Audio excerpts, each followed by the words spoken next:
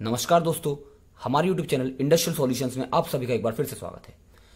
आज की वीडियो के अंदर हम फ्रेंड्स बात करने वाले हैं designing hydraulic power pack circuit friends इस वीडियो के अंदर मैं आप सभी को सिखाऊँगा कि किस तरह से हम एक सिंपल से हाइड्रोलिक सिस्टम को डिज़ाइन करते हैं फ्रेंड्स ये वीडियो एक बहुत ज़्यादा इंपॉर्टेंट वीडियो है फ्रेंड्स क्योंकि इस वीडियो के थ्रू आप जो सारी प्रीवियस वीडियो है मेरी हाइड्रोलिक की, सभी को रिकॉल कर पाएँगे। जैसे कि साइड में आप देख सकते हैं फ्रेंड्स ये direction control valve flow control valve pressure relieving valve इन सभी के ऊपर मैंने सेपरेट वीडियो बनाई हुई हैं। उसके बाद हमने जाना कि हाइड्रोलिक सिंबल्स क्या होते हैं पावर पैक कैसे काम करता है क्या क्या पार्ट्स होते हैं पावर पैक के, और साथ ही हाइड्रोलिक सिलेंडर इनके ऊपर हम लोग पहले देख चुके हैं। तो अब क्या होगा फ्रेंड्स इन सभी को हम यूज़ करेंगे और एक हाइड्रोलिक सिस्टम को डिज़ाइन करेंगे, ताकि हम पता कर सकें कि प्रैक्टिकली हाइड्रोलिक सिस्टम किस तरह से काम करता है। ये सभी हम उसमें यूज़ करने वाले हैं। और सेपरेटली इनकी सारी वीडियोस ये जो छह सिस्टम है, इन सभी की वीडियोस मैंने डिस्क्रिप्शन में भी ऐड की हुई हैं। आप वहाँ से उन्हें चेक कर सकते हैं। तो चलिए फ्रेंड्स अब हम डिज़ाइन करते हैं अपना एक पावर पैक का सर्किट मतलब जिसमें हम एक सिलेंडर को ऑपरेट कराएँगे और उसमें हम क्या यूज़ करने वाले हैं, ये सभी वॉल्स का यूज़ करने वाले हैं। तो सबसे पहले हमने क्या देखा है हमारे पास अपना एक पावर पैक है। तो हमने सबसे पहले क्या ड्रॉ किया? पंप ये पंप का सिंबल है। डिज़ाइन करने से पहले मैं बताना चाहूँगा सिंबल्स का बहुत विशेष ध्यान रखना है आपको। कोई भी हाइड्रोलिक अगर आपको सर्किट पढ़ना है या फिर ड्रॉ करना है। पंप को हमने क्या किया? कपल्ड किया। ये कपल का, इस कपलिंग का सिंबल है किससे? मोटर से। ये आपका मोटर का सिंबल हो गया। अब क्या हो रहा है फ्रेंड्स पंप पंप क्या करेगा आपका? ऑयल को खींचेगा नीचे से टैंक में से। तो ये लाइन हो गई। और यहाँ मैंने लाइन में क्या डाल दिया? फ़िल्टर तो फ़िल्टर का सिंबल हम बना देते हैं। ये आपका फ़िल्टर का सिंबल है। ऊपर तेल जाएगा। अब क्या होगा फ्रेंड्स? यहाँ से हमारा तेल गया आगे, जो पंप नीचे से तेल को लेके आगे सिस्टम में सर्कुलेट कर रहा है।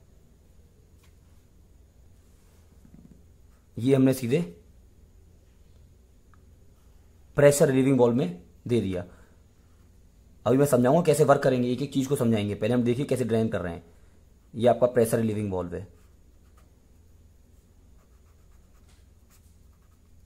ये सिंबल होता है प्रेशर रिलीविंग बॉल का। और यहाँ से ये लाइन डॉटेड लाइन से टच हो जाती है। उसके बाद क्या होगा फ्रेंड्स हम यूज़ करेंगे इसके लिए एक प्रेशर गेज भी यूज़ कर सकते हैं, ताकि हम अपने सिस्टम का प्रेशर पता लगा सकें। ये आपका प्रेशर गेज हो गया। कि कितना प्रेशर है वो आपका इजीली पता कर सकें। फिर क्या होगा फ्रेंड जो आपकी लाइन है प्रेशर रिलीविंग बॉल से आगे चली गई। और चाहे तो आप इसमें एक फ्लो कंट्रोल वॉल भी लगा सकते हैं। ये मैंने इसमें लगा दिया फ्लो कंट्रोल वॉल ताकि हम इसका फ्लो भी कंट्रोल कर सकें। मैं इसके कमेंट्स भी दे देता हूँ साथ में। ये आपका है फ्लो कंट्रोल वॉल्व ये आपका है प्रेशर रिलीविंग वॉल्व और ये आपका हुई मोटर, ये पंप है, ये कपलिंग है, ये प्रेशर गेज है। फ्लो कंट्रोल वॉल्व से सीधे जाएगा हमारा। जो डीसी वॉल्व होता है डायरेक्शन कंट्रोल वॉल्व तो डायरेक्शन कंट्रोल वॉल्व भी हम बना लेते हैं। ये आपका डायरेक्शन कंट्रोल वॉल्व दो कंडीशन का फोर पोर्ट का डायरेक्शन कंट्रोल वॉल्व हम यूज़ कर रहे हैं। कितनी कंडीशन है? दो। और पोर्ट कितने हैं? चार। अब क्या होगा फ्रेंड? जो आपकी लाइन है, ये इससे कनेक्ट हो जाएगी। ये रिटर्न लाइन हो जाएगी आपकी। उससे पहले मैं अपना एक सिलेंडर भी डिज़ाइन कर लेते हैं हम। ये आपका हाइड्रोलिक सिलेंडर है, जिसको आपको ऑपरेट कराना है। तो क्या होगा, ये जो पोर्ट है फ्रेंड, दो सिलेंडर के। एक पोर्ट यहाँ होगा, एक पोर्ट यहाँ होगा। तो ये लाइन ऐसे कनेक्ट हो जाएगी। मान के चलिए, जैसे यहाँ से तेल एंट्री करेगा इस पोर्ट के थ्रू तो यहाँ से ड्रेन होगा तो ये आपकी ड्रेन लाइन हो जाएगी। ये ड्रेन लाइन सीधे कहाँ जाएगी? टैंक में। और नीचे क्या आ जाएगा फ्रेंड एक और? ये इनलाइन फ़िल्टर है, और ये रिटर्न लाइन फ़िल्टर हो जाएगा। तो इसका सिंबल कैसे होगा? ये नीचे की तरह ऑयल आएगा। ये पूरा सिस्टम हमारा ड्रॉ हो चुका है फ्रेंड अब मैं एक बार आपको एक्सप्लेन कर देता हूँ कैसे काम करेगा और इसको भी हम बता देते हैं, ये क्या है आपका?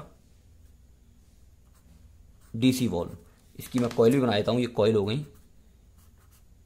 कॉयल नंबर ए और कॉयल नंबर बी तो क्या हो रहा है फ्रेंड जैसी हम मोटर स्टार्ट होगी, जैसी मोटर स्टार्ट होगी, वो कपलिंग के थ्रू पंप को रोटेट करेगी और पंप यहाँ से ऑयल ऑयल को सक करेगा। ये ऑयल आपका जाएगा। अब ये क्या आपका प्रेशर रिलीविंग बॉल है। इसमें थोड़ा रह गया है। प्रेशर रिलीविंग बॉल को भी आप टैंक से कनेक्ट करते हैं हम। मान के चलिए हमने इस पर एट्टी के पर सेंटीमीटर स्क्वायर या फिर एट्टी बार का प्रेशर सेट किया हुआ है। अगर जैसी यहाँ से मान लो पंप दे रहा है सौ बार तो क्या होगा? ट्वेंटी के नीचे ड्रेन हो जाएगा लाइन में। बाकी जो एट्टी हमने सेट किया है वो आगे चले जाएगा। और वो चेक करने के लिए हमारे पास प्रेशर गेज है। ये दिखा देगा आपका 80 आ रहा है। फ्लो कंट्रोल वाल से आप उसकी फ्लो को कंट्रोल कर सकते हैं। ये सीधे जाएगा आपका डीसी बॉल में। और ये सिलेंडर को आगे मूव करेगा। और यहाँ से आपका ड्रेन ऑयल होकर नीचे आ जाएगा। जब कंडीशन ये वाली लगेगी तो इस तरह से यहाँ ऑयल जाएगा सिलेंडर पीछे आ जाएगा और ये ऐसे निकल के टैंक के अंदर आपका तेल वापस हो जाएगा। तो इस तरह से फ्रेंड ये काम करता है। बिल्कुल बेसिक सा सिंपल डिज़ाइन हमने किया हुआ है। इसमें ज़्यादा चीज़ का यूज़ नहीं किया है। अभी आगे देखेंगे जिसमें हम बिल्कुल एडवांस डिज़ाइन करेंगे, जिसमें आप एक्यूमुलेटर का यूज़ करेंगे। फिर जो ये रिटर्न लाइन है डायरेक्ट डायरेक्ट नहीं देंगे हम, इसको हीट एक्सचेंजर में लगाएँगे, ताकि वो तेल भी ठंडा हो सके। आगे देखेंगे, वो अभी हमने सिंपल सा सिस्टम डिज़ाइन कर लिया है फ्रेंड इसमें किसी को भी कोई प्रॉब्लम आती है तो कमेंट सेक्शन आप मुझे बताइए। अगर वीडियो अच्छी लगी तो फ्रेंड्स लाइक कीजिए। ज़्यादा वीडियो को शेयर कीजिए। And please don't forget to subscribe my channel thank you